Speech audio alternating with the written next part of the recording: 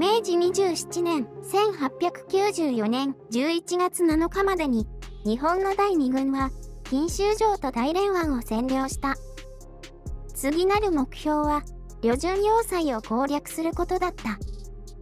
両東半島の先端に位置する旅順は対岸の異海衛とともに新国北洋艦隊にとって重要な拠点であったため何としても攻略する必要があった。新国側もその重要性を十分理解していたため巨額の資金と十数年の歳月を費やし旅順を要塞化していた。その結果、最新鋭の砲台が築かれ、大小100を超える砲門を設置し、海側の防備はほとんど完成していた。日本軍がこの旅順を攻略するためには、厳しい長期戦を覚悟する必要があるかと思われた。第一師団が大連湾諸砲台を無血で占領した同じ日の11月7日、人選で待機していた混成第12旅団が火炎港に上陸した。こうして、新国艦隊からの襲撃を全く受けずに、第2軍の上陸は完了。長谷川義道少将機下の混成第12旅団は、錦州に向かい、11月13日に到着した。すでに、錦州城に到着していた第2軍司令官、大山岩尾大将は、旅順を攻略するために、様々な情報を集めていた。11月13日、大山大将のもとに、旅順港の守備兵は8000人で、そこに、錦州城からの配送兵が加わり、旅順要塞の兵力は、合わせて1万2000人という情報が入ってきた。さらに復讐から南下しつつあった秦軍が、フランテンにとどまり、それ以上前進する気配がないことを知ると、大山大将は、混成第12旅団と第1師団だけで、旅順を攻略できると判断し、まだ内地にいる第2師団の到着を待たずに、南下を命令した。錦州城の守備には、わずかに、歩兵第15連隊を当てただけだった。大山大将は、秦軍の実力を軽視し、完全に侮っていたのである。これが、後に、錦州城の日本軍を危機的な状況に陥らせることになった。旅順港は、秦国にとって最も重要な軍港だった。秦国は、早くから、この地の防備に力を入れ、陸正面の防備には番頭山、大破山、小破山、東景観山、二流山、小樹山にわたり、9個の半永久砲台と4個の臨時砲台を築いていた。さらに、西方は安市山に3個の半永久砲台を設け、防備を固めていた。旅順要塞は非常に堅固なものだったが、問題はそれを守る人間だった。その頃、旅順港の守備兵の士気は著しく低下していた。錦州城や大連湾が日本軍の手に落ち、続々と廃材兵が旅順に入ってきたためであった。秦軍の指揮官の多くは日本軍を恐れ、保塁に引きこもったまま、日本軍の状況を探らせることもせず、早くから逃げることだけを考えていた。実際、11月13日頃から水死営あたりに日本の捜索騎兵が出没すると17日京商与という参謀長にあたる人物が水雷艇に乗ってどこかに消えてしまったのである。他に7隻の水雷艇が旅順から逃げ去り旅順の海上を守る船艇は皆無となった。残された秦軍の指揮官は自分たちも敵前逃亡をしようと考えたが、ますます士気が低下することを恐れ、土壌市付近に軍を進めて、日本軍を迎え撃ち、なんとか士気を奮い起こそうとした。11月18日午前7時、秋山義古少佐の捜索騎兵隊、約200名が永城市を出発した。前面の敵情を捜索、警戒していた午前10時頃、土壌市で前日から陣取っていた新軍の歩兵200名と騎兵50名を発見する。すぐに銃撃戦となるが、新軍の兵力が次第に増え続けたため、秋山部隊は、たちまち苦戦に陥った。秋山少佐は、ここで敵に敗れれば、軍の前進が不利になるとして、第一師団の前衛が到着するまで、なんとか踏みとどまろうとした。そこに、秋山部隊の苦境を知って、歩兵第3連隊第1大隊が救援に駆けつけてきた。しかし、これも、たちまち苦戦に陥り、結局、交代せざるを得なくなった。新軍は、勝ちに乗じて追撃しようとするが、そこに木村有常中佐が指揮する歩兵第3連隊、第2大隊、第3大隊が現れると、新軍はそれ以上追撃しようとはせず、引き上げて戦闘は終了した。この日の戦闘に参加した新軍は、歩兵約5000名、騎兵約100名だった。一方の日本軍は、歩兵約600名、騎兵約200名に過ぎなかったが、なんとか持ちこたえることができた。しかし、死傷者48名を出し、石膏行動としては大きな損害を出した。その後、第2軍の各隊は、旅順に向けての進軍を続けたが、道路事情が悪く、馬も疲弊していたため、人力で砲車を引かざるを得ないような困難を極めた。そのため、運搬力不足によって砲弾数を制限し、1門あたり50発のみしか支給しないことになった。11月19日、各隊は、旅順港まで約10キロの集荷トン付近に宿営した。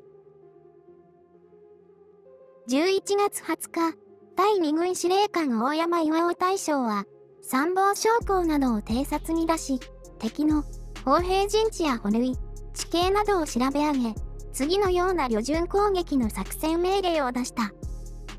捜索騎兵は、万流山西方で、軍の右側を警戒すること。第1師団は、伊豆山の捕類を占領し、小樹山砲台を攻撃すること。合成第12旅団は、二流山砲台を攻撃すること。左翼渋滞は、旅順東北方面に進出して、敵を牽制すること、という内容だった。この作戦命令が出た直後の午後12時30分頃、約4000名の新軍が旅順港を出て水死営まで進出してきた。その半分が水死営の東北高地に向かい、残りの半分が右大山に向かって、歩兵第2連隊、第2大隊と交戦した。第1大隊、第4中隊が救援に向かったが、新たに万流山にいた新軍が、山を下って応援に駆けつけ、右大山の西方の高地を攻撃した。この時、野戦砲兵第1連隊が、独断で、右大山の西方の高地に進出。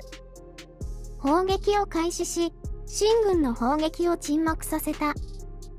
さらに、歩兵第2連隊第4、第7中隊も独断で前進し、新軍の左側背を攻撃すると、新軍を退却し始めた。新軍の一部が切り崩されると、その動揺が前線に波及し、崩壊。新軍は、旅順港に退却した。第2軍は、翌日に予定された総攻撃を前に、西方から捜索騎兵第1師団混成第12旅団。そして、歩兵第14連隊の2個大隊からなる左翼渋滞の順に軍を展開して、旅順包囲網を完成させた。11月21日午前1時頃から第2軍の旅順攻略作戦が始まった。各部隊は前進を開始。西勘次郎少将は第1師団の歩兵第3連隊と、野戦砲兵第1連隊、第3大隊を率いて、203高地に到着した。そこから、3キロ東の安市山砲台に向けて攻撃を始めた。しかし、新軍は、1000名の歩兵と機関砲でもって応戦したため、日本側に死傷者が続出し、暗死山砲台を容易に沈黙させることができなかった。そこで、歩兵第3連隊長の木村有常中佐が、被害を少なくするためには、急激な前進しかないとして、各大隊に前進命令を下した。日本軍が突入すると、新軍は、わずか5分も経たずに逃走し、暗死山砲台の占領に成功した。第一師団が暗死山砲台に向けて攻撃をしていた頃、混成第12旅団は待機したまま動かずにいた。第一師団の小樹山砲台攻撃を待って、二流山砲台を攻撃しようとしていたのである。しかし、第一師団が暗死山砲台を占領しても、小樹山砲台の攻撃を始めないので、混成第12旅団長、長谷川義道少将は、第1師団の攻撃目標となっている小樹山砲台を、混成第12旅団が攻略することに決心した。二流山砲台を攻撃するとともに、小樹山砲台にも攻撃を命じた。命令を受けた混成第12旅団の歩兵第24連隊は、二流山に向かって前進。これを、野戦砲兵第6連隊が、水死営の東北約1000メートルの丘から砲撃し、援護した。しかし、野戦砲兵第6連隊の砲撃は、設置した場所からでは、距離が遠くて効果が少なく、加えて砲の故障が続出した。砲撃の援護がなくなった歩兵第24連隊に対して、新軍からの攻撃が集中。歩兵第24連隊は、たちまち危機に陥った。その時、野戦砲兵第1連隊が、小樹山砲台に向けて、猛烈な砲撃を開始した。その一発が、小樹山砲台の火薬庫に命中し、大爆発を起こした。そのため、ここにいた新国兵は混乱状態となり、二流山砲台に向けて逃走。二流山砲台に逃げ込んだ新国兵だったが、歩兵第24連隊が二流山に突撃すると、さらに逃走。歩兵第24連隊は、午前11時30分頃、二流山砲台の占領に成功した。その後、数分も経たないうちに、膨大北方の砲台までも占領し、新軍は旅順市街方面に逃げ去った。同じ頃、歩兵第14連隊の2個大隊からなる左翼渋滞が、東京関山砲台に向けて前進し、午前11時45分頃に、砲台を占領した。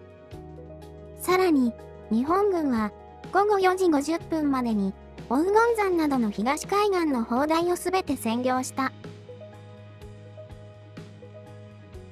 逃走した新軍の多くは、西海岸砲台に集まり、日本軍の攻撃に備えて、防備を固めていた。大山岩尾大将は、一気に新軍を撃滅しようとしたが、日没が近くなったので、この日の戦いを打ちやめて、全軍に旅順市街とその周辺に宿営することを命じた。翌日になってから、西海岸砲台の進軍を相当することにしたのである。しかし、西海岸砲台の進軍は、日本軍の捜索騎兵などの警戒線を突破して、その日の夜のうちに逃げ出してしまった。翌22日午前10時半、歩兵第1連隊が無人となった西海岸砲台を占領。旅順は陥落した。その後、第2軍の公兵第1大隊が、旅順港内の水害を除去し、24日午後3時に、旅順の攻略は完了した。この旅順港攻略戦の日本軍の死傷者は、288名、内戦死者40名だった。一方、新国側は、死傷者は少なくとも7000名にも上った。第2軍の主力が、旅順港の攻略に当たっていた頃の11月19日、李光省から旅順港救援を命じられた総計が、約5000人の新軍を率いて錦州城に向かっていた。錦州城を守備していた歩兵第15連隊長、河野道義大佐は、新軍の来襲が確実なことを知ると、錦州城内で防戦するのは不利と考え、城内にわずかな兵を残しただけで、大半を場外に出した。そして、北方と東方に配置して、新軍を迎え撃つ体制を整えた。旅順港への攻撃が開始された11月21日、総計は、錦州城の日本軍があまりに少数であるという情報を得て、軍勢を二手に分けて、錦州城を一挙に潰すべく進撃した。新軍は、日本軍の最も手薄な東方陣地に攻撃を集中。ここを守備していた第二大隊は、たちまち苦境に陥った。しかし、旅順陥落の方が伝えられ、城内に残っていた第6中隊が駆けつけると、東方陣地の日本軍は、勢いを盛り返し、新軍を撃退した。北方の陣地では、新軍は、夜になるまで攻撃を続け奮戦していたが、これも日本軍によって撃退された。この時の戦いだけで、新軍の戦死者は、少なくとも500名にも上ったという。対する日本軍の戦死者は21名だった。こうして、日本軍は、難攻不落と言われた旅順を、わずか1日で攻略し、錦州城も死守することに成功したのである。